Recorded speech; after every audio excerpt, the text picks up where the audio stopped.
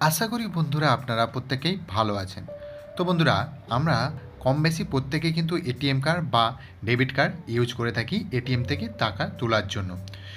তো এই টাকা তুলতে গিয়ে আমাদের অনেক সময় সমস্যার সম্মুখীন হতে হয়। তো কি হয়, অনেক সময় আমরা টাকা তুলতে গেলে এটিএমের সার্ভার ডাউনের কারণে অনেক সময় কি হয়, আমাদের টাকা হাতে পাই না আমরা, কিন্তু আমাদের অ্যাকাউন্ট থেকে টাকা কাটা যায়। বা আপনি টাকা তুলতে গেছেন, সেখানে পাওয়ার সাপ্লাই চলে গিয়েছে। তো আপনার অ্যাকাউন্ট থেকে টাকা কাটা গিয়েছে, কিন্তু আপনি হাতে টাকা কোনো ফেলেন না। তো সেক্ষেত্রে কী করণীয় রয়েছে, সেটাই আজকে এই ভিডিওর মাধ্যমে আপনাদের সঙ্গে আলোচনা করব। তো দেখুন ফার্স্ট আপনাকে কিন্তু চব্বিশ ঘণ্টা ওয়েট করতে হবে। কারণ এখন ব্যাঙ্কগুলো অনেক ফাস্ট রয়েছে। তো চব্বিশ ঘন্টায় কিন্তু আপনার অটোমেটিকলি টাকা কিন্তু ব্যাঙ্ক অ্যাকাউন্টে ক্রেডিট হয়ে যাবে। ঠিক আছে? যদি না হয়ে থাকে, সেক্ষেত্রে আপনাকে কি করতে হবে? কমপ্লেন রেজিস্ট্রেশন করতে হবে, ঠিক আছে? তো এই কমপ্লেন রেজিস্ট্রেশন কিন্তু তিন মাধ্যমে করা যায়, তিনটি মাধ্যম দিয়ে। তো ফার্স্ট যেটা হচ্ছে, সেটাই হচ্ছে বেস্ট তো এটার মাধ্যমে আপনারা চুজ করবেন।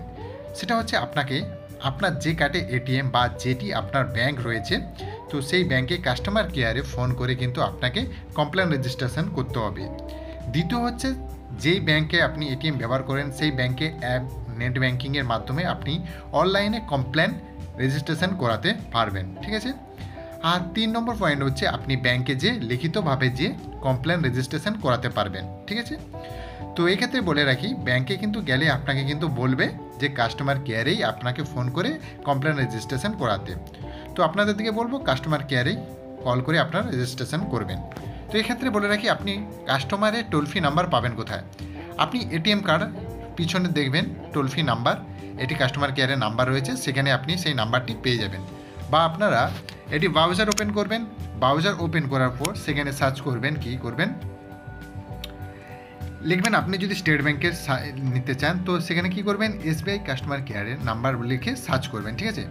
তো সার্চ যাই করবেন, দেখবেন আপনার কাছে এসবিআই বা স্টেট ব্যাঙ্কে ইন্ডিয়ার যে কাস্টমার কেয়ার নাম্বার রয়েছে, সে সেই নাম্বারগুলো কিন্তু আপনি এখান থেকে দেখুন পেয়ে যাবেন, ঠিক আছে? টোল ফ্রি নাম্বার অনেক রয়েছে, তো সেই নাম্বারগুলো আপনি এখান থেকে কিন্তু পেয়ে যাবেন। তো এই নাম্বারে কল করে আপনারা কি করবেন? ডিটেলসটা আপনারা বলবেন, আপনার অ্যাকাউন্ট নাম্বার বলবেন এবং আপনার অ্যাড্রেস যে রয়েছে সেই ডিটেলসটা বলবেন এবং কোন টাইমে আপনার টাকাটা কাটা গেছে সেটা আপনারাই বলে দেবেন এবং বলার পরে আপনাকে কিন্তু একটি ওরা আপনার মোবাইলের সঙ্গে যে লিঙ্ক রয়েছে ব্যাংকের যে নাম্বার সেই নম্বরে কিন্তু একটি টোকেন নাম্বার পাঠিয়ে দেবে। যেই নাম্বারটা আপনাকে কিন্তু খুব গচ্ছিত করে রাখতে হবে, কারণ ওই নাম্বারটার উপর দিয়ে কিন্তু আপনারা পরবর্তীতে স্টেপ নিতে পারবেন।